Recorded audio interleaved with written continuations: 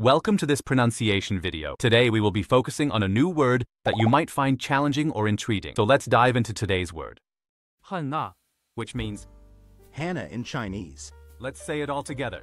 Hanna. Hanna. Hanna. One more time. Hanna. Hanna. Hanna. Thank you for joining us on this adventure in pronunciation. Remember, language is a journey not a destination. Keep exploring, experimenting, and expanding your linguistic horizons. We'll see you next time.